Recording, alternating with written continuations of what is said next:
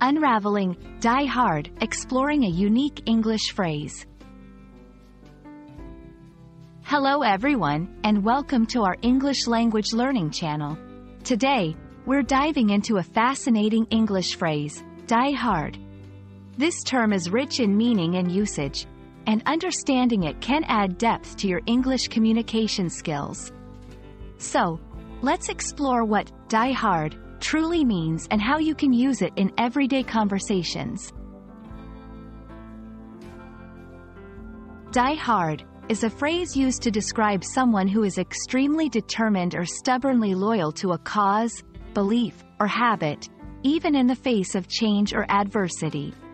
The term suggests a level of commitment or dedication that does not wane, even in challenging situations. It's often used to describe fans, political supporters, or anyone who remains steadfast in their beliefs or affiliations. Understanding the origins of phrases can deepen our appreciation for them. The term, die hard, dates back to the early 19th century. It was first used to describe the British 57th Regiment of Foot during the Battle of Albuera in the Napoleonic Wars.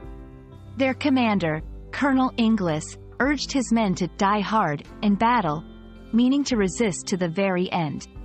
Over time, this expression evolved to describe anyone who shows extreme dedication or stubbornness.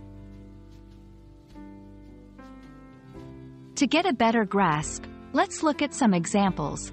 1. Sports fans. Even though their team hasn't won a championship in years, their fans are die-hard. They never stop supporting them. 2. Political context. Despite the changing political landscape, he remains a die-hard supporter of the party.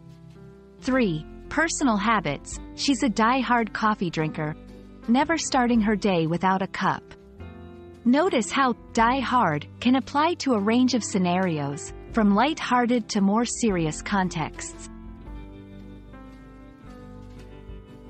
It's important to understand the nuances of die hard. While it denotes loyalty and perseverance, it can sometimes carry a negative connotation when implying stubbornness or an unwillingness to change, even when change might be beneficial. For instance, he's a die-hard traditionalist, refusing to accept new methods. Understanding synonyms can expand your vocabulary. Other words with similar meanings include staunch, strongly loyal, unyielding, not giving way to pressure, resolute, admirably purposeful. We hope this exploration of the term, die hard, has been enlightening. This phrase, rich in history and meaning, can add color and depth to your English expression. Remember, language is not just about words, it's about the stories and histories they carry. Happy learning, and see you in our next video.